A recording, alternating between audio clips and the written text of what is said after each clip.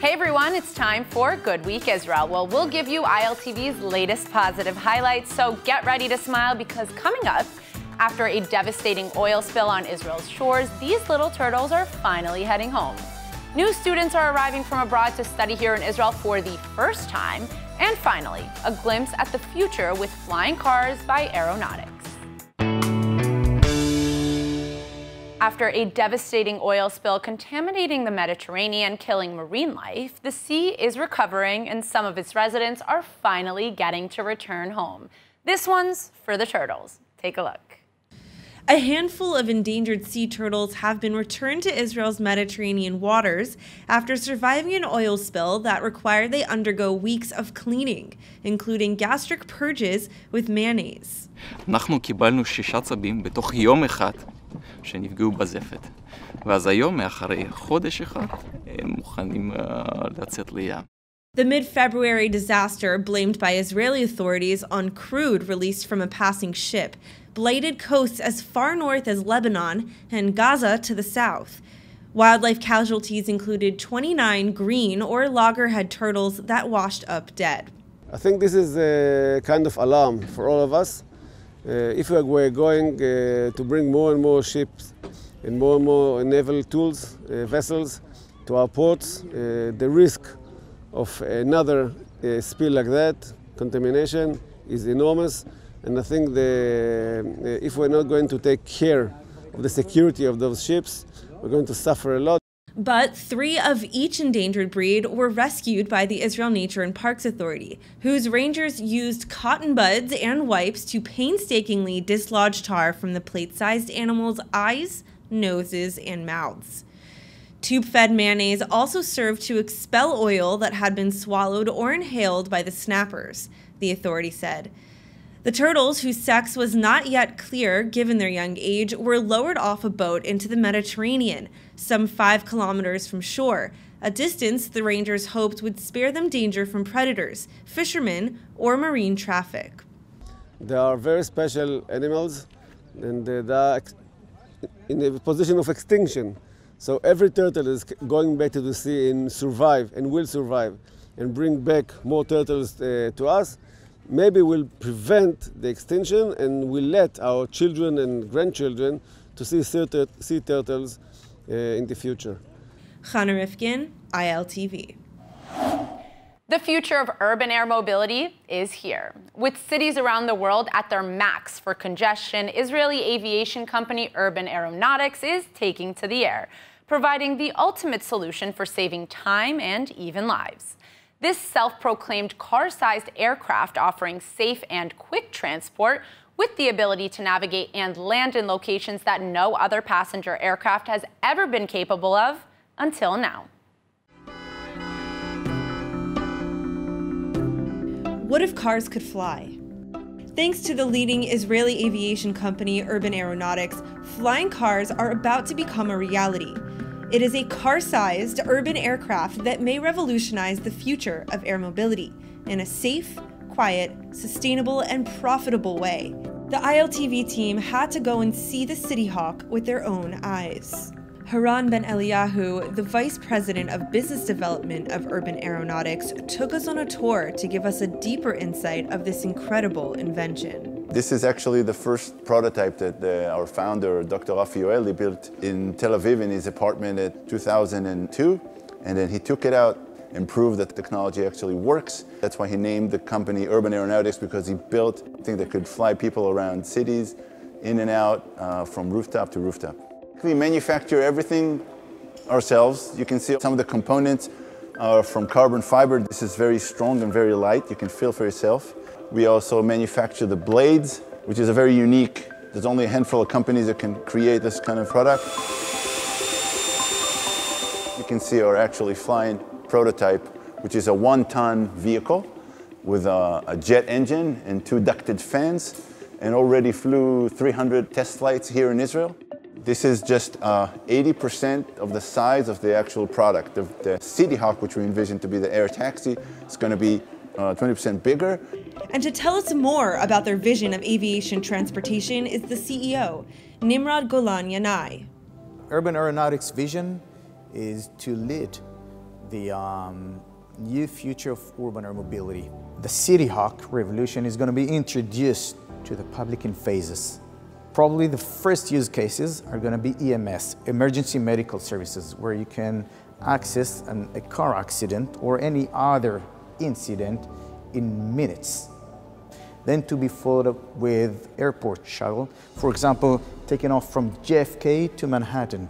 Then to be followed with air taxi full-scale utilization, you know, for the public, mobility as a service. Cityhawk is equipped with groundbreaking internal rotor fancraft technology. When you have an aircraft that has no external rotors, then suddenly you can introduce aviation into the urban environment. This state-of-the-art technology brings the dream of air mobility to everyone and everywhere. When we developed the City Hawk, we do not aim for, you know, just the rich people. We aim for all of us to use it. So it's going to be pretty much the same cost as taking an Uber all the way from JFK to Manhattan. And topping it off, Urban Aeronautics uses eVTOL twin engines, and future eVTOL models of City Hawk will run on hydrogen, known to be a completely sustainable power source. We're going to be the first eVTOL in the world that is going to use hydrogen fuel cell to fly. The Israeli based aviation company, in its first stage of manufacturing, now preparing to develop prototypes and is set to be ready for production in three to five years. We see a lot of movements around the financial markets towards eVTOL developers like ourselves. Now it's the perfect time to step into this domain.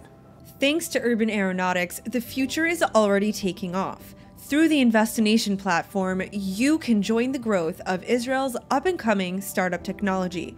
Investination is an investment platform developed by the Basadno Investment Group. Basadno affords its investors the opportunity to invest in some of the most promising startups. Visit investination.com to learn more.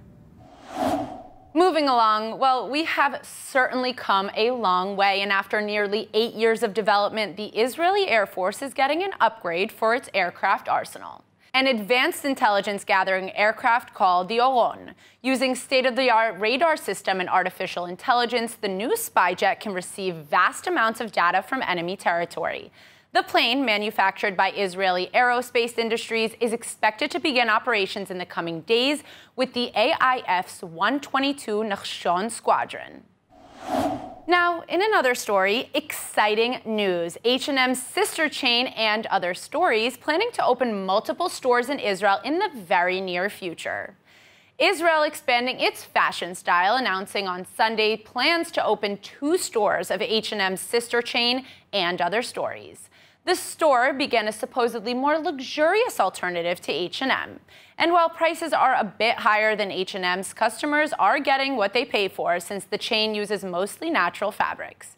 Meanwhile, and other stories, also planning on selling skincare products and makeup in stores, announces the idea to have a giant sink inside each location for customers to test out the products. As for the actual ribbon cutting, the company's franchise in Israel, Match Retail, saying it will open the stores in the fourth quarter of 2021.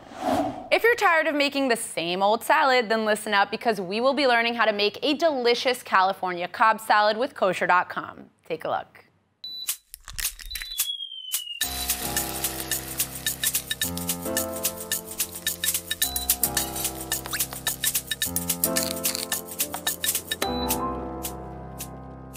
Joining us today is Abby Wallen. Hi. We're going to be making a springtime salad, and I'm so excited to have you here. I'm so excited to be here because I'm not a foodie and I have I've never done this before. You're doing great already. Abby is from California. I am. I'm from LA. Originally, I'm, I'm from the Valley, and there we have tons of salads, like Shabbos is at least like five or six salads Yum. for the meal. Yum. I love that. I might have to move to California. I'm a big salad person myself. This is called the California Cobb salad, where Ooh. yeah, and and in California we are obsessed with color. Well, especially as me as an artist, I love color, and your salad has to be super colorful. Okay, that's great. So we're gonna start with all of the red leaf and green leaf lettuce. You want to have like you know a bunch of different combinations of lettuces. So I'm going to tear the lettuce. You always want to tear your lettuce because if you cut it, the lettuce goes brown.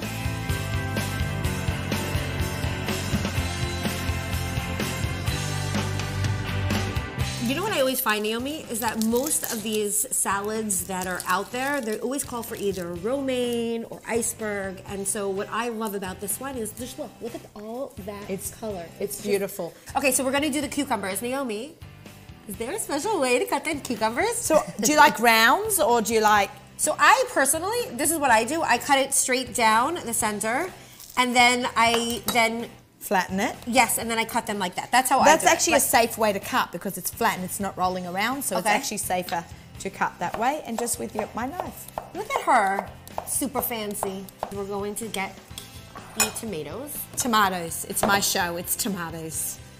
I love these different colored tomatoes. Look at that. Yeah, see, because they're an array of colors and different shades, and it's just gonna add so much beauty to the, the salad. Hmm.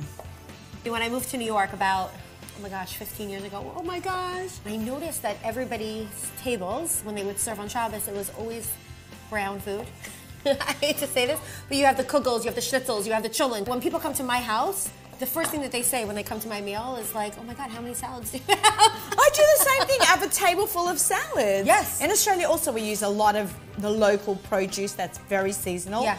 And we grew up had no, with no kugels and just a ton of salads. Yeah, so it's it, I have my California Cobb salad. I'll have a potato salad. I'll have a corn salad. I'll have a cabbage salad. I mean, like we're talking an array of salads, and people just come and they just they they leave the table and they're like, oh my god, I feel so full but so light. You can't have a California Cobb salad without avocado. avocado. okay, so how do you tell the avocado's done? I have no idea. So you want to like give it a little bit of pressure, and if it gives gives in a little, then you know it's Good. nice and soft. I'm putting in my knife. I'm turning around the edges with a pit in the middle. Okay, let's hope that this is going to be a beautiful one. I'm just going to give it a little twist. Okay, I take my knife and I give it a good whack in the middle, and then I turn Oh, it, wow. And it comes right out like that. Red onion time. Okay, I love I love red onions. I think they're so pretty. How do you do that? Okay, now just watch. Wait, it's gonna go into that salad. It's gonna like totally transform the color. Oh, that is beautiful. Look, it's really coming together so I told you, it looks really, really. Raining onions. What's next? What's next? Okay, this is the best part, and I can't wait to show it to you. We are going to transform this salad into next level. You have no clue. Okay, I'm very this excited. is like What the about- best part. What goes in next? Okay, we're going to take Ooh. the turkey, which you're like, what? We're going to fry it up, Ooh. and we are going to have. it's gonna be so good. By the way, the more turkey you put in there, the better. Really? Yes. Like this? Now, most people would just put it in a salad like this. Raw. No, no, no, no. No, we have no, to- No, no, no, no, no, no. Look at this. This is beautiful. In California, where I've eaten Cobb salads before, they will put pastrami and they will put, you know, So you- corned beef. and you could put different fry- kinds of deli. Yeah, yeah, yeah. Ooh, but oh, it has to be fried up. That's the whole shtickle mickle. So all this just goes in. Yeah, goes in. And just make sure that you pull off the pieces. Oh, you can already smell it.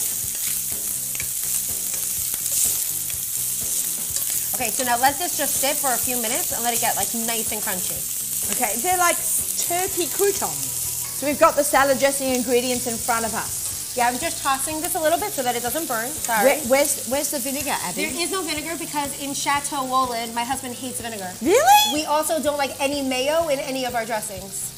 Really? Yeah. Oh, this is going to be Fun really fact. interesting. Fun fact. Okay, so what goes in here first? Okay, so we're going to put gonna- in, we're going to put in the honey. Okay, now I'm going to add in some yellow mustard. Yeah, perfect. Good. Great. Oh, here, take this. Okay, and then you're going to put in oil. Do I whisk and add oil? Yeah. Whisk and add the oil. Perfect. I'm going to get a really going. good emulsification here. Okay, Perfect. say when. That's good. Oh, that's great. Okay, and then some garlic powder, black pepper, and then a little bit of salt. Garlic powder. Ooh. I love garlic. so I'm just going to keep going. How is that? Okay, let's try. It's so simple, but it's so delicious. Even though like most traditional salad dressings have the balance of oil to acid, Yeah. right? And mustard, this just has the mustard because there is vinegar in mustard, a little Yes, vinegar. yes, yes, but yes, that's yes. it. And you, you feel it here. It's delicious. Look, see all of the little bits? That's what you want. You want those Crunchy, crunchy, brown, yes, yes, caramelized turkey roll. It is so good. I love that you're so excited about food. It okay. so good. Okay, so I would normally do this on a Friday, right? Yeah. And then it's gonna be cold when it goes into the salad.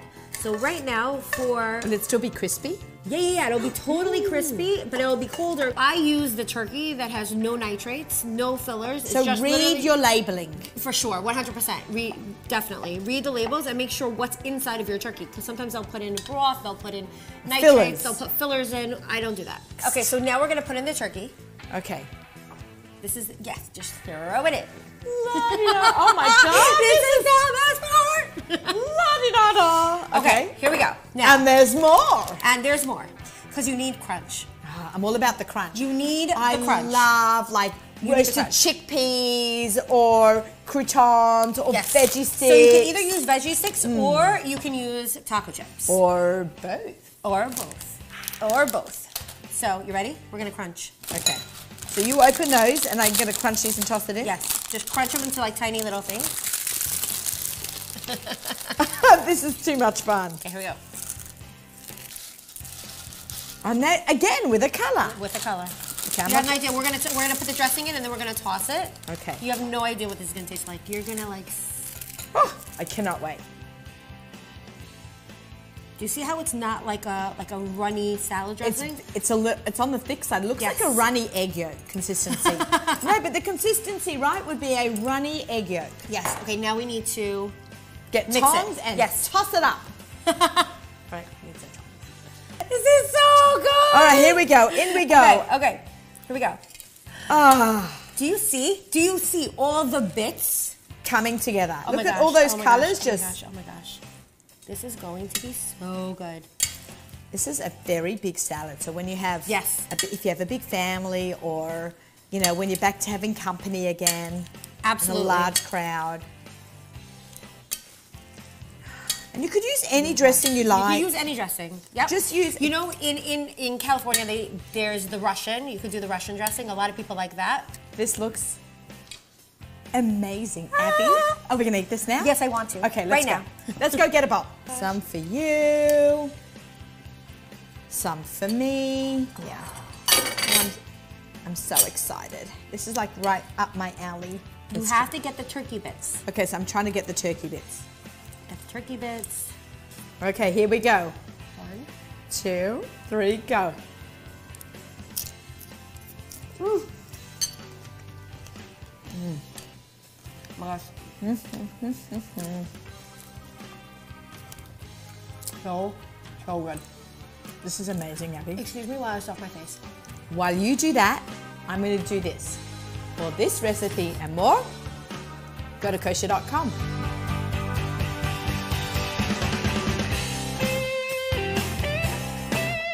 This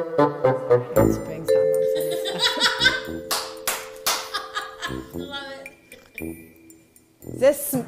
The, the Zman Aviv, but sunny side up. Was that good? Um, We're talking about like. Yeah, so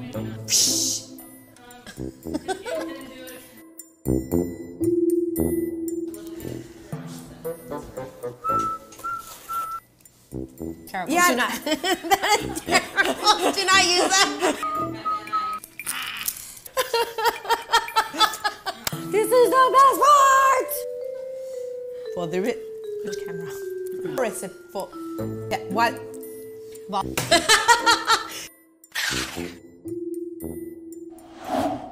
As COVID rates continue to drop and life returns to somewhat broad form of normal, new students are arriving from abroad to study here in Israel for the first time In what feels like forever, I went to Ben Gurion Airport to welcome the first flight to arrive. Since 1972, Jewish National Fund's USA's Alexander Muss High School in Israel has stood out as one of the premier Israeli academic institutions for students studying abroad. Unfortunately, due to the COVID 19 lockdown restrictions, JNF was forced to suspend its spring semester for the first time in the school's history until today. JNF, in collaboration with El Al Airlines, is one of the first Israeli organizations to receive approval from the Israeli government to bring over 240 students to live and study here in Israel for the first time in 2021.